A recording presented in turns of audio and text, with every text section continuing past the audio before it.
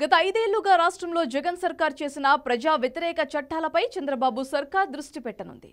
ప్రజలను ఇబ్బందులకు గురి చేసే చట్టాల్లో కొన్నిటిని రద్దు చేసే యోచనలో ఉన్నట్లు తెలుస్తోంది. రాష్ట్రంలో జరిగిన ఎన్నికల్లో టీడీపీ కూటమి భారీ విజయం సాధించింది.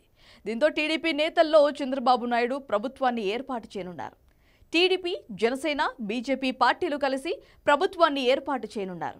ఈ నేపథ్యంలో జగన్ సర్కార్ చేసిన ప్రజా వ్యతిరేక చట్టాలను చంద్రబాబు సర్కార్ రద్దు చేయనున్నట్లుగా తెలుస్తోంది. అందులో ప్రధానంగా ల్యాండ్ టైట్లింగ్ యాక్ట్ కూడా ఉంది. ఆంధ్రప్రదేశ్ రాష్ట్ర ప్రజలను తీవ్ర ఇబ్బందులకు గురి చేసిన ఏపీ భూ యాజమాన్య హక్కు చట్టమైన land titling act two thousand twenty టూను రద్దు చేసేందుకు ప్రతిపాదనలు సిద్ధమయ్యాయి. బుధవారం ముఖ్యమంత్రిగా చంద్రబాబు నాయుడు ప్రమాణ స్వీకారం చేసిన అనంతరం ముఖ్యమంత్రి హోదాలో బాబు రెండో సంతకాన్ని భూ హక్కు చట్టం రద్దు దస్తరంపైనే పెట్టనున్నారు. ఇందుకు అవసరమైన ప్రతిపాదనలు రెవెన్యూ శాఖ నుంచి ప్రభుత్వానికి అందినట్లుగా తెలుస్తోంది. చట్టం రద్దుకి సంబంధించిన ఫైల్ను న్యాయశాఖ వద్దకు పంపబోతున్నట్లుగా సమాచారం. ముఖ్యమంత్రి పదవి బాధ్యతల అనంతరం చంద్రబాబు ఈ దస్తరంపై సంతకం చేసిన తర్వాత చట్టం రద్దుకు రాష్ట్ర మంత్రివర్గం సమావేశం ఆమోదం తెలుపుతోంది. ఇక ఆ తర్వాత జరిగే రాష్ట్ర శాసనసభ సమావేశాల్లో ల్యాండ్ టైట్లింగ్ చట్టం ఉపసంహరణ బిల్లు ప్రవేశపెట్టనున్నారు. వైఎస్ జగన్ సర్కార్ రూపొందించిన టైట్లింగ్ చట్టంలో పేర్కొన్న నిబంధనలు ప్రజల స్థిరాస్తుల భద్రతను ప్రశ్నార్థకం చేశాయి.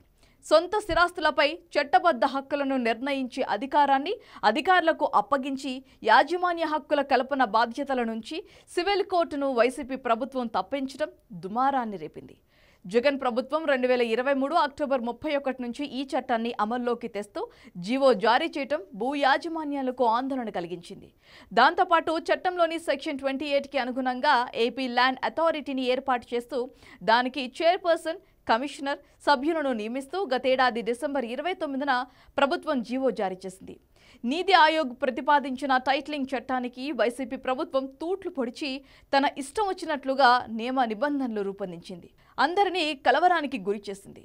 నీతి ఆయోగ్ ప్రతిపాదించిన నమూనా టైట్లింగ్ చట్టం సెక్షన్ ఫైవ్లో టైటిలింగ్ రిజిస్ట్రేషన్ ఆఫీసర్ టీఆర్ఓ నియామకం గురించి కేంద్ర ప్రభుత్వం పేర్కొంది. రికార్డుల్లో యజమానుల పేర్లను ఓసారి చేర్చి నోటిఫై చేసిన తర్వాత మూడేళ్ళలోపు ఎవరు అభ్యంతరం చెప్పకపోతే యాజమాన్య హక్కు విషయంలో ఈ వివరాలను తిరుగులేని సాక్ష్యంగా పరిగణించాలని నమూనా చట్టంలో కేంద్రం స్పష్టం చేసింది. రాష్ట్ర చట్టంలో మూడేళ్ళ కాలాన్ని రెండేళ్ళకు కుదించారు. ల్యాండ్ టైటిలింగ్ అప్లేట్ ట్రిబ్యునల్ ఇచ్చిన ఉత్తర్వులపై అభ్యంతరాలు ఉంటే నీతి ఆయోగ్ నమూనా చట్టం సెక్షన్ సిక్స్టీన్ ప్రకారం హైకోర్టులో అప్పీల్ దాఖలు చేయవచ్చు. కానీ రాష్ట్ర ప్రభుత్వం చట్టం ప్రకారం హైకోర్టులో అపీల్కు అవకాశం ఇవ్వలేదు.